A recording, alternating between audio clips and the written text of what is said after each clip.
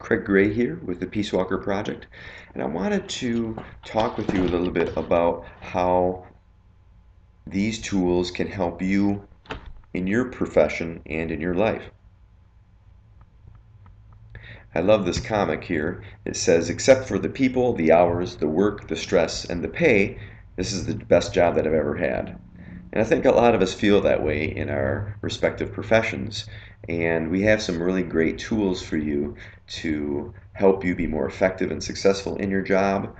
And quite frankly, have a much happier, healthier life. Now, you might be wondering yourself, how can these tools that you're speaking of regarding conflict management and leadership really help me in what I do? You'll notice in this slide here, there's a lot of different professions that are represented. Everything from teachers and therapists to law enforcement personnel and security personnel. We have some medical professionals there and business people ranging from customer service representatives to managers to salespeople and um, entrepreneurs, business owners, and even mental health care professionals. Now, these people may seem like they, they have a much different perspective and substantially different jobs. However, the one common element that brings all of us together is the idea that we all work with other people. Relationships are really the essence of what we do for a living. And this program will help you to manage those relationships much more professionally, much more effectively, with a lot less stress and a lot more success. So, no matter if you're a police officer or if you're a salesperson, uh, the tools that you will get will definitely help you with your job. Now, you may be thinking, well, well, what tools are you talking about? There's four main categories of tools that we cover ethical, emotional, verbal, and physical. Now, more than just a philosophical approach of, hey, these are cool tools and this is some of the stuff you need, we give you step by step processes to help you along each one of these items and why each one is so important and a very particular approach that gets you to your goals much more quickly, effectively, and under pressure, which is when we really need them. Now, aside from having the tools, what you need to do, we need to know as well is knowing when to use the tools. So understanding who you're dealing with, how to handle the situation, and if possible, create an ally, not an enemy, is really what we're going for here. Because we see that there's really five essentials of conflict management. And why conflict management? The reason for that is your job is easy until there's some man or some conflict that needs to be managed. If you're a police officer, if you're a manager, if you're a salesperson, if you're a healthcare provider, or a mental health care professional, or a teacher, right? The the rubber hits the road when people are not doing what they're supposed to be doing, and you have to fix the problem.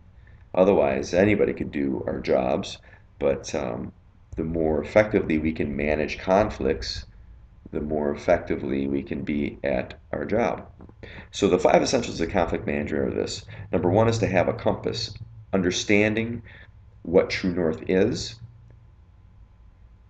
What we use is Dr. Robert Humphrey's universal life value theory, and we get into a step-by-step approach on how he used this this theory in the Cold War. He was a Cold War um, conflict resolutionist for the State Department for many years, and he helped many people get along much better in a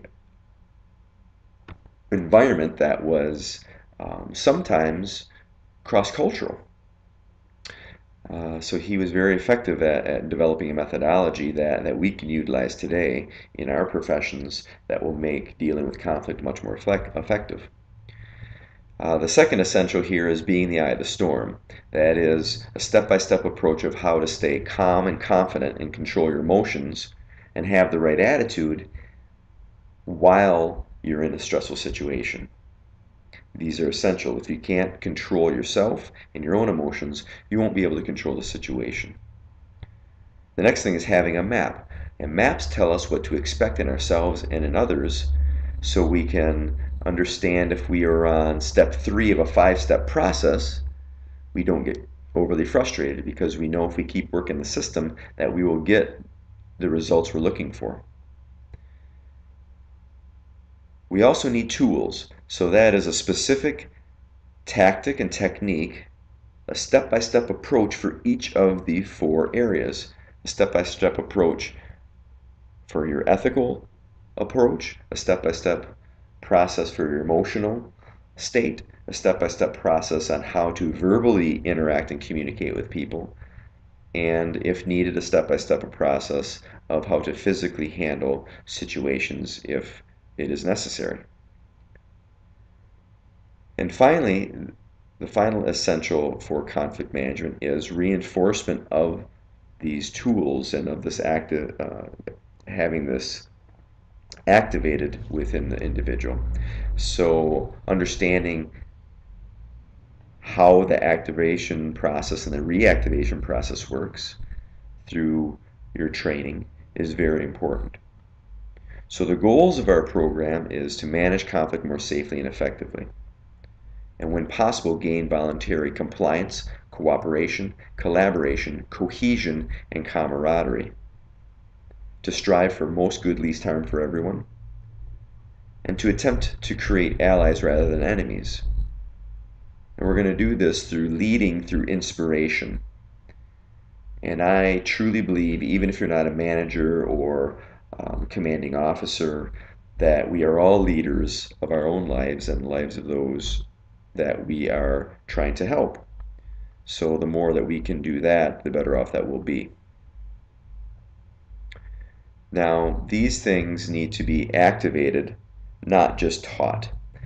Because you can go through all the materials on an intellectual basis, and without the active, without these things being activated, you're never able to utilize them in the stressful situation that uh, would need the tools to help you work through the situation. So we have specific exercises for you to go through that will help you to activate this methodology so you can actually utilize it under pressure. Because the idea is that we are a professional. We treat people with professionalism not necessarily because they always have it, but because we always have it. And that is the basis of our approach and how it can affect and dramatically increase your effectiveness and your success in your career and in your life.